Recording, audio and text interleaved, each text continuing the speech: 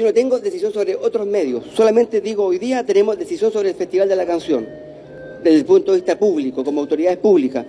No quiero que la narcocultura esté presente allí. Lamentablemente, yo lo personal me enteré muy tarde de esto, aquí debió haber habido un filtro anterior, esto debió haber sido responsabilidad del municipio, el municipio debió haber rechazado a esta, haberlo investigado, haber rechazado y haber pedido un reemplazo de, esta, de este artista.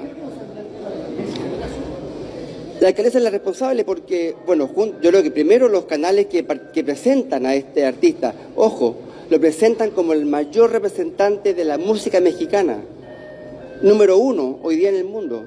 Esa es la presentación que se lo hace, espectacular. Para el festival es muy espectacular. Sus entradas se vendieron en un día.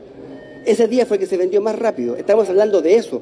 No estamos hablando de un artista que la gente no conozca, los más jóvenes, los más niños pero es un artista que cuando uno se da cuenta de lo que representa, no puede estar en Viña, a pesar de que hay un costo económico, un costo también seguramente de, algunas funas que vamos a tener, amenazas que vamos a tener, no importa, que es lo que importa, y eso es lo que representamos nosotros hoy día acá, es que la narcocultura hay que tenerla en cada rincón.